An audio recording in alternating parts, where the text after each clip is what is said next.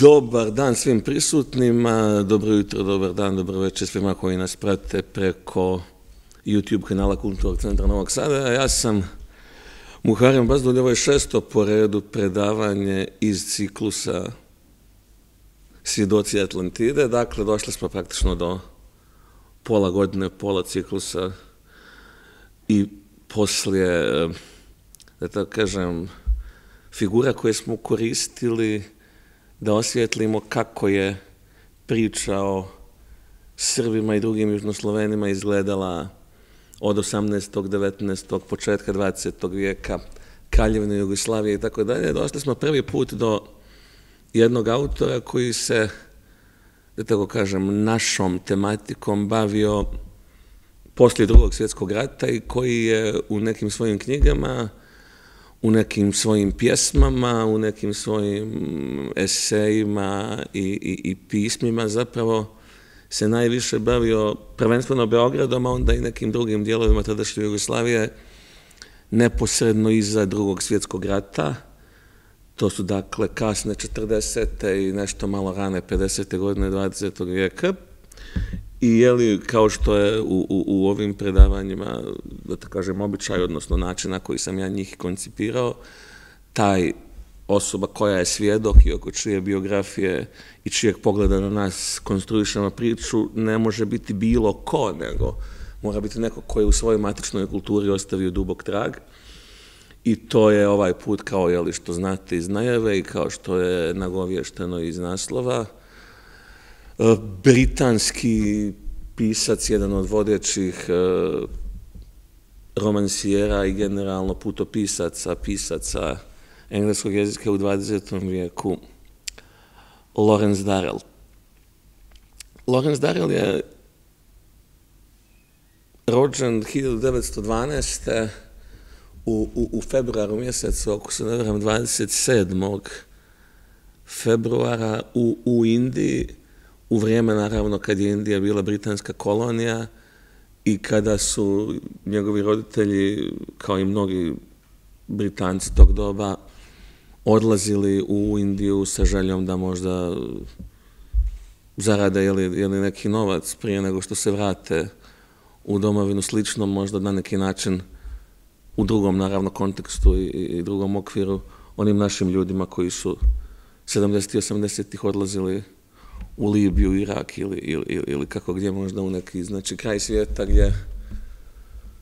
ne očekuju takvu vrstu komfora, ali gdje su prilike za, za, za, za neku vrstu ekonomskog uh, uspona bolje nego što su barem njima bile. Uh, oni su bili u doba kada uh, Lorenz je bio prvo dijete, oni su imali četvoro djece, imali su tri sina i, i, i, i čerku, a,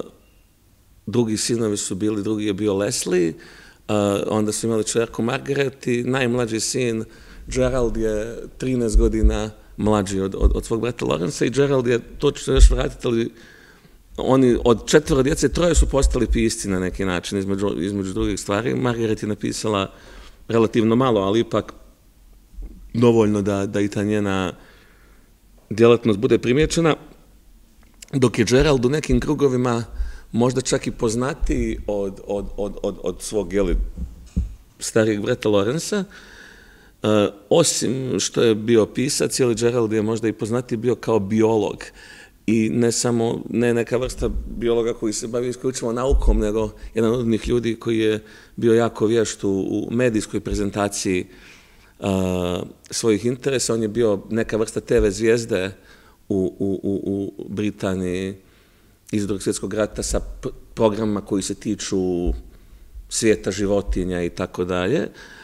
Ali osim toga, on je autor jedne užasno popularne memoarske knjige o kojoj ću nešto kasnije da više kažem, e, jer se ona tiče jednog dijela života koji su opet on i, i, i njegov brat zajedno proveli, ali ovdje ću čisto to da pomenem, ta knjiga se zove Moja porodica i ostale životinje i ona je dva puta uh, odnosno čak tri puta uh, ekranizovana s tim što je dva puta kao serija, jednom kao TV film. E, ovo sad na neki način dijelim sa svojom generacijom, ta ekranizacija iz 87. ja se sjećam, to je neki tako, ona je 87. prikazana na BBC-u, a dvije, tri godine kasnije prikazana na, na, na ovoj šemi Jugoslovenske radio televizije. Ja se recimo te, te serije sjećam iz perioda neposredno pri raspadu Jugoslavije, pretpostavljam da nisam jedini, a mislim prije 7-8 godina negdje, u tri sezone je urađena serija Darelovi na krfu po toj e, knjizi. To su ljudi koji danas, kako se to kaže, binđuju vjerovatno barem neki jeli, od vas koji ovo prate gledali. E, ok, dakle, on se, rekao, već rađa u Indiji, to je vrijeme kada, ajde da kažem, kod nas se vode balkanski ratovi. E, njegov otac je po profesiji inženjer, otac mu se također zove Lorenz, to je taj neki običaj u određenim britanskim klasama da najstariji sin naslijedi očevo ime. Majka se zvala Luiza, majka je bila domaćica, I Lorenz provodi u nekoj relativno, jeli, i po njegovim sjećanjima i po biografijama koje znamo, neku vrstu idiličnog djetinstva u Indiji u jednoj lijepoj klimi, bez nekih, e, što bi se reklo, problema prvih deset godina života, a onda, što je bio običaj, jeli, kod te kaste Britanaca u kolonijalnim zemljama, oni nisu željeli da im se djeca školuju u kolonijama smatrajući da su te škole loše i da im smanjuju šanse za budućnost i uh, Lorenza Darla oni upisuju neku školu u samoj Britaniji, u internat i on sam kao dječak od 11 godina biva stavljen na brod i tim brodom iz Indije odlazi zapravo prvi put u Englesku, u teoriji neku svoju domovinu, a u suštini domovinu svojih roditelja i to je jedan u to doba naravno dugačak put brodom od Indije do, do, do, do, do Velike Britanije. On u tom momentu prolazeći kroz Suetski kanal i to možda prvi put doživljava jedan važan dio svijeta za koji tad možda i nije bio svjestan koliko, ili sigurno nije bio svjestan koliko će biti važan, jeli Mediteran koji će mu biti obsesivna tema i, i, i u životu i u književnosti. Došavši u Englesku, on se prvi put suočava sa jednom, da kažem, fizičkom činjenicom koja će mu u dobroj mjeri odrediti život. On, u Indiji je to bilo iz ovog onog razloga drugčije, on nije možda toliko bio usmjeren isključivo na svoje vršnjake, međutim, došavši u internet i u školu sa, sa, sa masom dječaka iz Britanije, ispostavlja se da on u tom društvu ubjedljivo najnižeg rasta. Dakle, on je iz nekog razloga genetskog ili kakvog nije, nije rastao puno, zapravo jedva je prerastao 1,60 m u, u, i kao odrasla osoba i ta će mu taj kompleks eh, niskog rasta će biti u, u, u njegovom životu kao i često kod ljudi koji su izrazito niski važan i koji može da bude, jeli, uh, u psihologiji jedna vrsta motivacije da se ostvare u, u, u, u karijerno, to je ono što psiholozi zovu Napoleonov kompleks. Takvi ljudi, što bi rekao jedan naš pisac, e, znaju biti politički vrlo opasni, osim ako nisu ženskari. Jer ako su ženskari, onda kroz tu vrstu uh, samodokazivanja, uh, to što bi inače dokazivali kroz politički život dokažu, a, a Darel je, to ćemo da vidimo, bio je li u nekom smislu stereotipni ženskara u današnjem smislu bi se moglo reći oličenje onoga što danas vole zvati toksični maskulinitet, jer to njegovo, taj njegov odnos prema ženama je u nekim momentima jeli, čak i za, ta, za standarde tog doba bio na rubu incidenta, vjerovatno po nekim današnjim standardima bi on, kako bi se to reklo riječnikom, politički korektni model bio kancelovan, I on tako ide u tu školu i, nije pretjerano sretan, uh, nervira ga engleska i po običajima i po klimi, uh, jako se osjeća frustrirano i zapravo bježi u umjetnost i knježevnost jer je, jer je nesretan u stvarnosti i zapravo tek to kada ne, u nekom trenutku ovaj, što bi se reklo uh, kroz pubertet počne da, da, da, da otkriva seksualnost i počne da otkriva alkohol i, i, i druge opijate, to mu postaje neka vrsta skoro bi rekao simboličkog zavičaja. I onda se dešava jedna stvar da on kad je imao 16 godina, a otac mu imao samo 43, otac mu umire iznenada, smatra se, vjerovatno u to doba nije rađena od obdukcija, ali smatra se da umre od neke vrste e, moždano krvarenja, neke vrste šloga ili, ili, ili, ili čega, ali ispostavilo se da je otac u tim, da nije uzalud, što bi se reklo, otišao u Indiju, da tim svojim poslovima u Indiji uspio da zaradi, odnosno da ostavi svojoj udovici i toj djeci, njih četvoro, jedan solidan kapital. I a, nakon smrti njegove, njegova, jeli, ta Luiza majka Lorenzova i ona odlučuje da se s ostalom djecom takođe vrati u, u, u, Englesku i njih petoro, znači majka i četvoro djece sada zajedno žive, žive od, od, od tog nasljeđa. Očevog, a sam Lorenz pokušava na najrazličitije načine takođe nešto da u životu radi i zaradi, osim to što nešto pomalo piše, on jedno vrijeme recimo radi i kao, pošto je nešto malo znao da svira klavir, radi kao pijanista u nekim barovima i, i, hotelima, takođe u nekoj uh, agenciji za nekretnine je od, jedan od njih ljudi koji ide od podstanara do podstanara i skuplja pare za stanarinu i tako da je. Međutim, jeli, u, u, u, u, u momentu tom on takođe sreće jednu jako mladu, jako, jako mladu, mislim, mlađu nešto od sebe, odnosno, pošto je on bio mlad, ovaj, vrlo malo mlađu, ali što je za njega tad značilo, uh, neka ipak razlika, ali ono što je tu zanimljivije, desetak centimetara višu od sebe, jako lijepu ženu koja se zvala Nancy Myers, za koju su svi govorili da liči na, na Gretu Garboyel, tim svojim nekim a, šarmom i čime već uspjeva da je, da je, da je, da je osvoji i njih dvoje se vjenčavaju, to je prvi od njegova četiri braka i on uh, nagovara svoju ženu da se iz Engleske negdje preseli na Mediteran, a onda u sklopu toga e, kad je vidjela njegova majka da on seli na Mediteran, a on je na neki način bio je blizak i s njom i sa, i sa, i sa ovim svojim, svojim sestrom i braćom, on nagovara i majku da se svi zajedno presele i oni, e, tad je život, to je doba prije masovnog turizma, jeli funte jaka, onaj novac koji oni troše u Britaniji za jedan skroman život će im u, u, u, u, na Mediteranu, u Grčkoj tadašnjoj, jeli, biti dovoljan za neki život uh,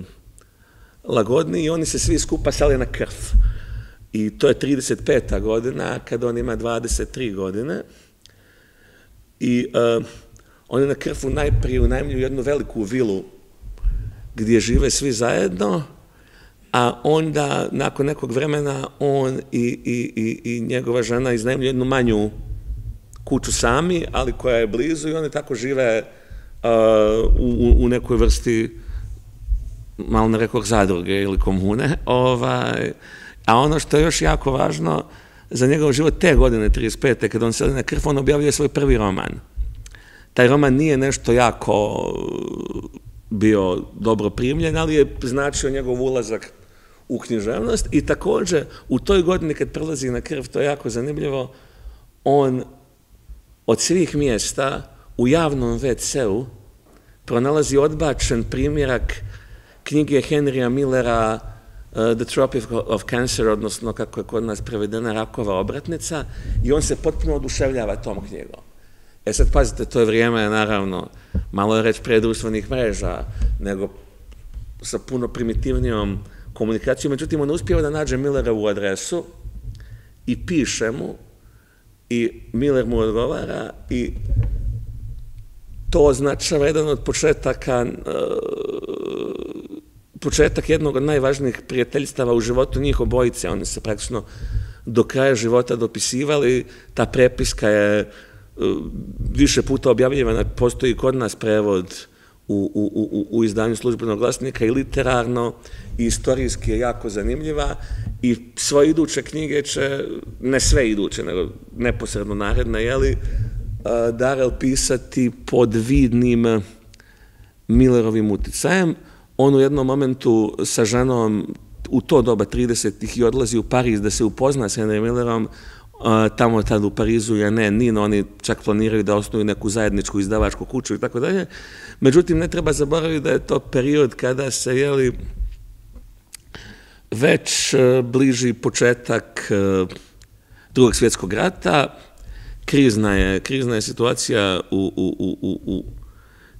svijetu, ali jasno je da i italijani i njemci su, jeli, imaju između ostalog ambiciju da zavladaju Mediteranom i u jednom trenutku uh, ostatak porodice uh, odluči da se vrati u Englesku, a sad je, jeli, vrijeme da se napravi opet malu digresiju. Taj period na krfu je uh, period kojim se bavi Gerald Darrell u ovoj više puta pominjenoj knjizi Moja porodica i, i ostale životinje i o, on tu opisuje i, i tog svog brata, kako ga on zove Larija u knjizi i, i te njegove tadašnje književne ambicije. To je u tom smislu jako zanimljivo. A jeli, uh, Lorenz i Nancy ostaju na krfu, njihov brak je već uh, prilično u, u, u krizi, ali ono što ih, jeli, drži zajedno između ostalog je što je Nancy trudna i ona, i ona će da uskoro, mislim, 40. da rodi njihovu jedinu, a jednu od Darlove dve čerke, Penelopu, i uh, onda, nakon što se njih dvoje razvedu, ona odlazi u Jerusalim sa, sa čerkom, a Darel isto tako prije nego što Njemci osvajaju krv, zapravo bježi u, u Egipat, u Kairu, gdje tada je, je pod britanskom vladavinom i on se angažuje u, u, u britanskoj, da kažem, diplomatiji i vojsci uh, kao neka vrsta službenika tokom drugog svjetskog rata i taj pri drugom svjetskom ratu on provodi uglavnom u Egiptu, uh, dakle u Kairu i što je važnije za nastavak i njegovog života i naročito njegovog opisa u Aleksandriji. Aleksandrija postaje grad koji za njega predstavlja, da kažem, i otkrovenje i čudesnu literarnu inspiraciju i on će, jeli, o tom gradu napisati svoje najvažnije književno dijelo, na to ću se vratiti kasnije, kad dođe hronološki red na to Aleksandrijski kvartret i što je takođe jako važno, u Aleksandriju on poznaje svoju drugu po redu suprugu, jeli, jednu aleksandrijsku jevrejku po imenu Eva, koja se djevojački prezivala Koen, i on stupa još u toku drugog svjetskog rata uh, u vezu s njoma negdje pred kraj rata će i formalno da se, da se ožene, a kad se rat završi, njegova prva uh, uh, prvi njegov, da tako kažem, diplomatski angažman je na Rodosu, Rodos je, to je, jel, znamo svi danas da je Rodos dio Grčke, međutim, Rodos je neposredno iza, odnosno za vrijeme, Rodos su Turci držali duže nego neke druge, druga grčka ostrava i onda, kad su počeli Balkanski ratovi, tu zaokupljenost Turske ratovima sa Srbijom, Bugarskom, Crnom Gorom i Rumunijom su italijani iskoristili. Italijani su zauzeli Rodos i Rodos je pripao Italiji, uh, zapravo i pripadao Italiji sve negdje do iza drugog svjetskog rata, da bi jeli, na neki način, skoro kao neka vrsta uh, isplate reparacija Grčkoj, Rodos na posljedku, kao što i danas, 45. formalno pripojen Grčkoj i na tom Rodosu provodi prve svoje postratne mjesece sa svojom jeli, novom ženom Darel. A, njemu to naravno jako prije, on je cijelo vrijeme, sve vrijeme bio opsidnut Mediteranom, ali jeli, a, sada već i on finansijski više potrošen je odavno nasljedstvo koje je otac ostavio, on od nečeg mora da živi, mora i da se prilagodi ovaj, svom poslodavcu i je li tada britanski foreign office koji u Argentini, u, u, u gradu Cordoba, otvara ispostavu British Consula, odnosno, jel, kako se to kaže, Britanskog savjeta, šalje njega u Argentinu da, da, da bude tamo, kao direktor tog, tog ofisa, i on odlazi, dakle, tamo negdje 46. u Argentinu, provodi tamo sa, sa, sa, sa ženom nekih godinu i po dana, u Argentini mu se nije dopalo, ali zato je se jako obradovao kad je dobio prekomandu u Evropu, međutim, je li ispostavit se da će mu se ta njegova evropska nova adresa dopadati čak i, i, i manje od Argentine, a ta njegova evropska nova adresa je ono, jeli, zbog čega mi danas i, i pričamo o njemu, to je Beograd. Dakle, nakon Titovog raskida sa Staljinom, Jugoslavija i Beograd postaju iz perspektive Zapada, a time i Velike Britanije, interesantni nego ranije i oni šalju Darela kao neku vrstu atašaja za štampu a, u Beograd kao jedan iskusan diplomatski kadar da bi, da bi pojačali svoju prisutnost ovde. A, Darel je ostao ovde, to je važno reći, tri godine, osim živio u Beogradu, ali putovo je praktično po cijeloj zemlji i imao je jako, zapravo, njemu je to sve bilo neprijatno. Njegova prva a, asocijacija na Jugoslaviju na Balkan je prašnjavost. On stalno u pismima govori da je to nešto prašnjavo, prljavo, da je civilizacijski nazadno i tako dalje. Druga stvar, živeći u Beogradu, jel, od svih južnoslovenskih naroda ima najviše kontakta sa Srbima, pa mu oni najviše idu na živice, pa tako čak u jednom pismu kaže da, da Srbi jako nalikuju na svinje, niti možeš Srbina razlikovati svinje, niti svinju od Srbina. On je u to doba jako bio fokusiran, tek je izašla Orvelova 84. i e, za njega je 84. zaista jedan distopijski distopijsko upozorenje o opasnostima komunističkog totalitarizma i onda on zapravo uh, govori u jednom pismu kako je on od mladosti, to je skoro kao parafraza one čuvene Churchillove, da je on od, od, od rane mladosti bio zapravo u političkom smislu ljevičarski inkliniran do, no, do, no, da sada jeli, postaje sve više i konzervativac i desničar, čak i rojalista. I ovaj, takođe ono što je zanimljivo da on u prepisi između ostalog s Millerom, koga recimo zanima Jugoslavija, pa traži od njega da mu pošalje neki suvenir iz Jugoslavije, on njemu otprilike kaže kakav suvenir ovi ljudi nisu ništa u stanju da proizvedu. Međutim, u jednom momentu kad je bio u Sloveniji, dopale su mu se neke papuče. I onda je od svih mjesta u, Sloveniji kupio papuče i poslao ih je Milleru i u nekom od pisama Miller kaže da mu se te papuče mnogo dopadaju i da ih u svojoj kući u Kaliforniji u Big Suru, gdje mu dolaze oni, što bi se reklo, protohipici i, i, i, i, i razni ljudi koji me Miller Guru stalno nosi, tako da mene često pada na pamet sudbina tih papuča koje iz Jugoslavije stižu do, do, do Kalifornije.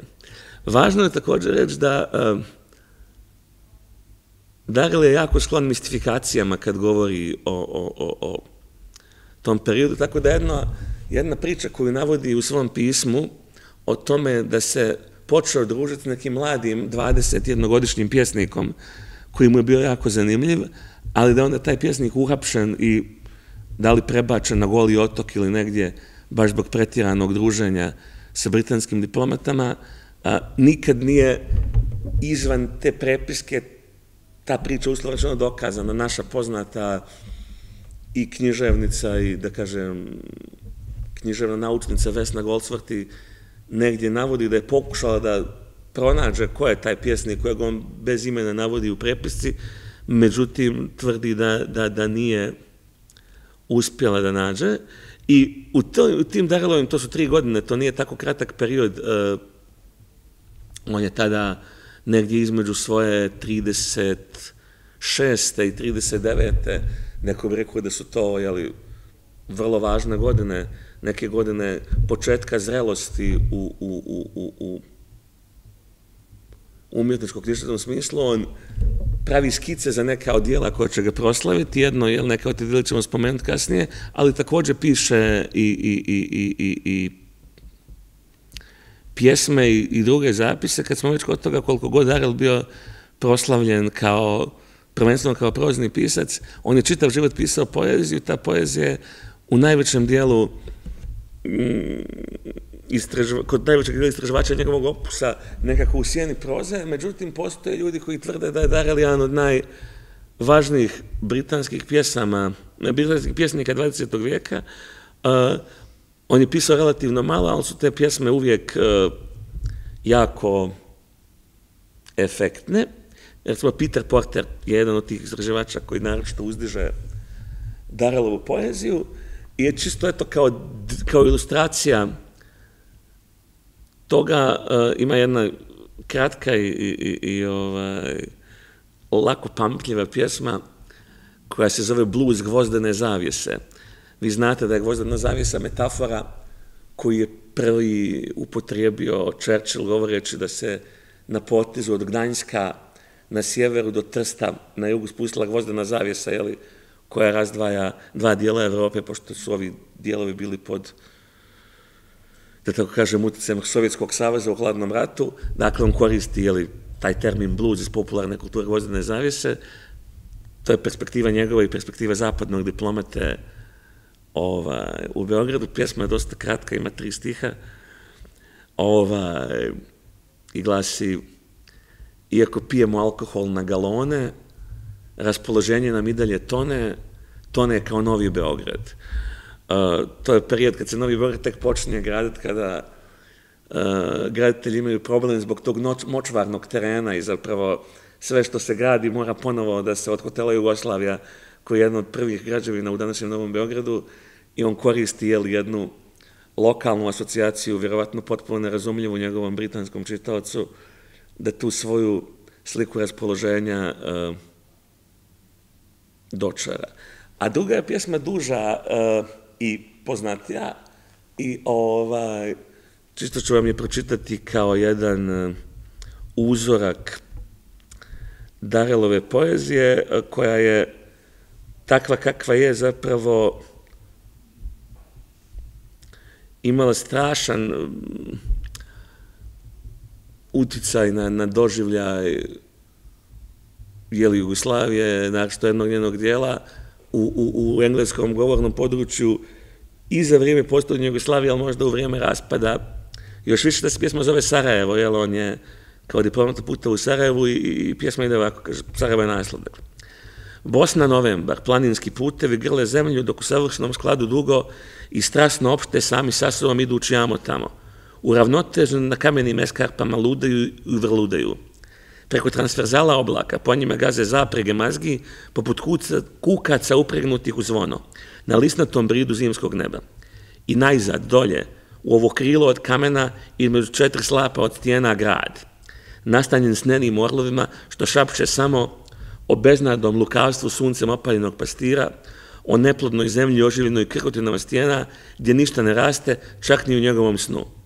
Gdje se munare izvijaju poput šećerlama, a rijeka zgrušena plavim ledom ide dalje. Zvoni između zaprega mazgi i gorštaka, ispod mostova i mušebaka, što krote zrak i običavaju na mir. Bezazlen sa slavujima, nijedan ne pjeva sad. Premalo istorije, možda. Samo ova prijeteča tamna ljepota što cvjeta ispod velova, uhvaćena u spektru jednog stila na umoru. Selo poput poriva prepuštenog hrđi, sazdano oko odijeka jednog pucnja iz pištolja. ovaj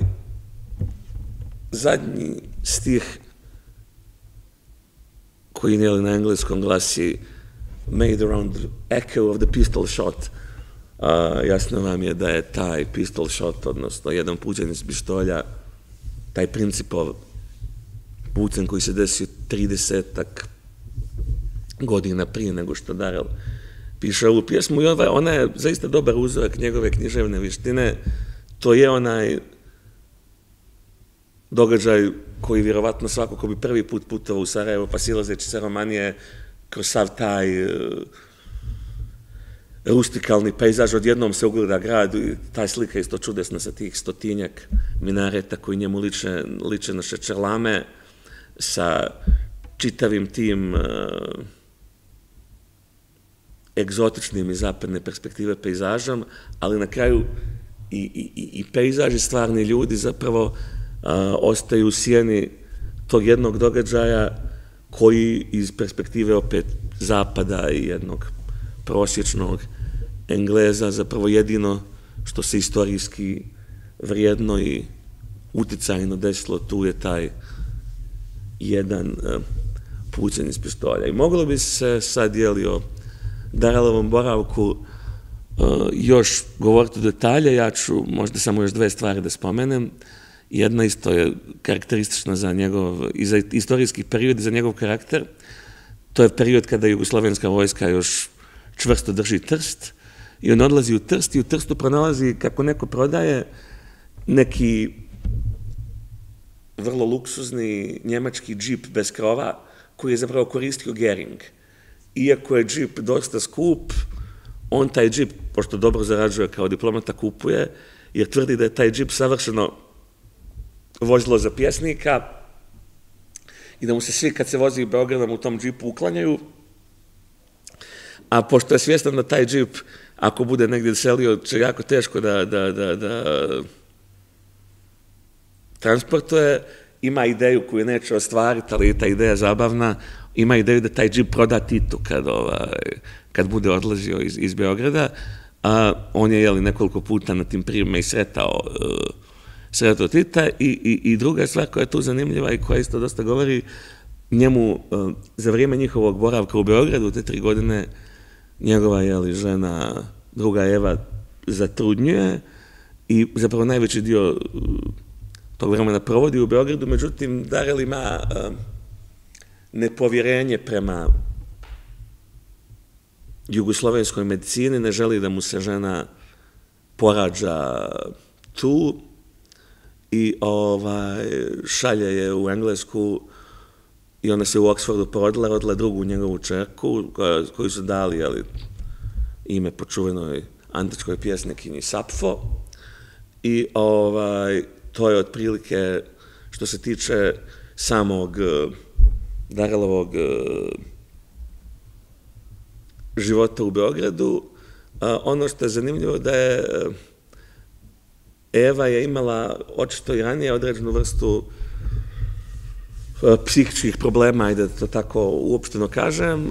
ali zbog kojih ona postaje zapravo skoro joj postaje nemoguć život normalan i ona u Engleskoj biva zadržana u jednom sanatorijumu, dok je li Darel sa, sa tom malom tetčerkom Sapfo odlazi na Kipar. I on idući, iduće godine živi na Kipru. Na Kipru će upoznati svoju treću ženu, Claude Marie, a, koju će doženi a, i s njom će imati, čini se, naj, ako se tako može reći, skladniji, sretniji brak od, svi, od sva svoja četiri, ona će, kako to je život zna, da udesi da mlada, mlada umre od raka, međutim, taj period koji je praveo s njom, tih nekih 12-13 godina, će biti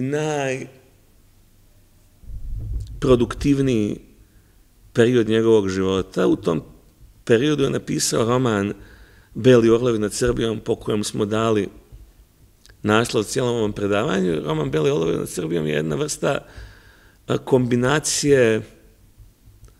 omladinsko, političko, satirično, špijunskog romana, on zapravo postavlja fiktivnu situaciju da je u socijalističkoj Jugoslaviji na planini Goli podignuta neka vrsta rojalističke pobune. I onda piše, jeli, roman o toj fiktivnoj situaciji. Na, naravno, roman je bio potpuno nezamisliv da bude preveden u socijalističkoj Jugoslaviji, a ovaj, 90-ih je nakon raspada Jugoslavije preveden, ali taj prevod je, nažalost, To je u, u jednom uh, ozbiljnom tekstu jedna naša angleskinja pokazala vrlo plastično i ubjedljivo da je prevod zapravo jako loš, ne samo što je stilski slab i što je često i faktografski netačan, u njemu su čak neki veliki dijelovi pasusi potpuno izostavljeni i možda, jeli, iz niza razloga bi, bi vrijedilo i imalo smisla da se napravi neki novi prevod, ali ono što je iz, iz perspektive generalno istorike znanosti važnije, da u isto vrijeme on objavljuje prvi roman iz, iz, iz da kažem, četvorodjelnog ciklusa Aleksandrijski kvart. Taj roman prvi se zove Justina, on je ovaj, posvećen, odnosno nije možda direktno posvećen, ali, ali, ali inspirisan je jeli figurom te njegove prethodne žene Aleksandrijske jevrejke Eve Cohen i on u idući nekoliko godina objavljuje sva četiri romana iz Aleksandrijskog kvarteta koji su Prva tri su praktično se bave istim događajima, ali iz perspektive različitih likova, dok se radnja u četvrtom dijelu nastavlja. Oni su dosta bazirani na, na, na light motivu dvije, tri najčuvenije Kavafijeve pjesme, iako je Kavafi prethodno bio poznat kao, da kažem, paradigmatičan pjesnik Aleksandrije, ti darovi romani, njihov ogroman uspjeh kad su se tek pojavili, su sigurno pomogli nekoj većoj vidljivosti Kavafija kao pjesnika. A, ti romani su imali toliki uspjeh da su a, Darelu promptno donijeli dvije nominacije za Nobelovu nagradu. Mi znamo danas kad su otpečečeni zapisnici da je prvi put kad je bio nominovan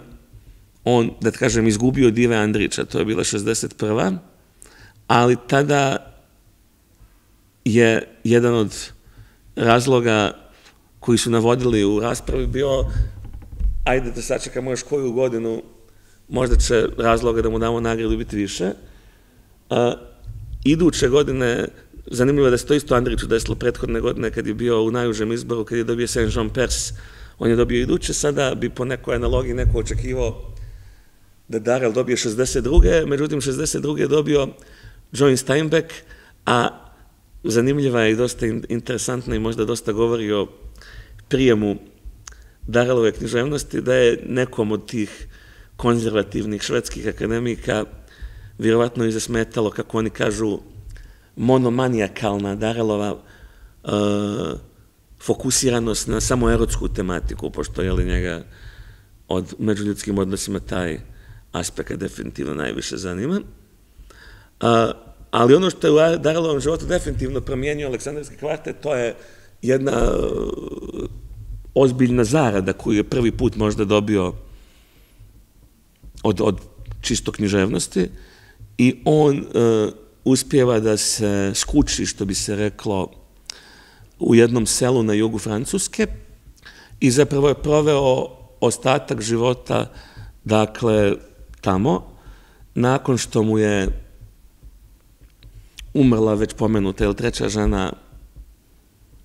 Claude Marie, on, on, on se četvrti put oženiti sa jednom dosta jeli, mlađom ženom Ženevijev, ali onda taj brak neće potrajati. Na kraju zadnja žena s kojom će on živjeti se zvala Françoise, ali s njom nije formalno, s njom nije formalno stupio u, u, u, u brak. I posljednji, zapravo u tim godinama eh, on uglavnom živi e, fokusiran na, na, na, na, na svoju književnost i e, u tom za njega isto jako inspirativnom pejzažu juga Francuske koji takođe pripada Mediteranu, nije potpuno ne, nije potpuno on putuje, ne nešto obsesivno, ali znamo da je jednu godinu proveo i kao gostujući predavač na jednom američkom univerzitetu, takođe putuje zbog promocija knjiga i tako dalje. Ono što je zanimljivo, pomalo i kao kuriozum, pomalo to kao neka vinjetica, on zapravo nije imao britanski pasoš, jer je, kad su Britanci 60. Eh, godina jako postrožili uslove da ljudi rođeni u kolonijama dobiju pasoš ako ga prethodno nisu imali, ne zato što, naravno ne zbog ljudi poput Darela, nego zbog, da kažem, pravih Indijaca i Pakistanaca, pošto on nije na vrijeme podnio zahtjev, on je ostao bez britanskog pasoša i onda je morao, kad god je putovao u Britaniju, u Parizu, da, da traži vizu. I onda je jedan od tadašnjih britanskih ambasadora u Parizu poslao Foreign Office, office vrlo bijesno pismo da je apsurdno da je jedan od najvećih Brit, uh, pisaca britanskih ne može da u svoju domovinu ode, a, a, a da svaki put mora da vadi vizu, međutim, jeli, to naravno nije nužno ništa promijenilo. Pred kraj života je doživio jednu jeli, veliku tragediju, čerka, ova druga po redu, koju je imao sa Evom Cohen Sapfo se imala je 34 godine kad se ubila, objesila se ovim hula hop čarapama. Ona isto imala neke književne ambicije i uh, u nekim njenim bilježnicama su pronađeni neki relativno dvosmisleni zapisi iz kojih su neki interpretatori tvrdili da, da, da se iz njih može zaključiti da je Darel nju u djetinstvu seksualno zlostavljaju i tako dalje, međutim većina biografa se slaže da je to neka vrsta ipak imaginacije i fantazije, mislim da ne, ne postoje uh, ne postoje neki dodatni dokaze koji bi ukazivali u tom pravcu, uh, tako da kao što najpoznatiji Darelov biograf kaže on po tom pitanju, jeli, ostaje nevin dok se, dok se ne dokaže suprotno, iako on, kao što sam i nagovijestio, definitivno nije bio neki čovjek koji je bio naj lakši za, za, za zajednički život, ali nemamo baš uh, ni, ni, ni, ni, ni, ni neke sugestije da bi mogli baš za tako grozne stvari optuživati i jeli u novembru mjesecu 90. on je umro od, od, od, od, od moždanog udara, jeli, čini se slične bolesti kao i njegov otac, samo što moj otac imao samo 43, a on je imao, jeli, koliko, 78, imajući vidu način života kakav je vodio, zapravo je živio možda i duže nego što bi neko očekivao i ono što je zanimljivo, jeli, to je novembar 90. On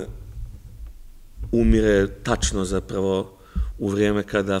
maltene i formalno Jugoslavija počinje da se raspada i mi tačno možemo da, da, da vidimo i da zamislimo jednu vrstu paralelnog univerzuma gdje on malo duže poživio i gdje bi verovatno britanskim medijima postao omiljeni sagovornik na srpske i jugoslovenske teme, a da bi oni njegovi stavovi koje je iznosio 40 godina ranije sada imali priliku da odjeknu mnogo glasnije i mnogo uticajnije. Ovako, jeli, to se nije na taj način desilo, ali mnoge njegove ocjene o, o, o, o, o Srbima, o Beogradu su ponovo dobile veću vidljivost, a i ova njegova pjesma o Sarajevu koju smo pročitali je u doba jeli, rata u Bosni i Hercegovini često bila e, citirana i navođena u, u, u britanskoj štampi kao jedan od primjera engleske književnosti koja se bavi tim prostorom koji je u tom trenutku bio, bio u fokusu svjetske pažnje javnosti i na za sami kraj, jeli, uh, Darelovo prisustvo u, u, u, u našoj kulturi je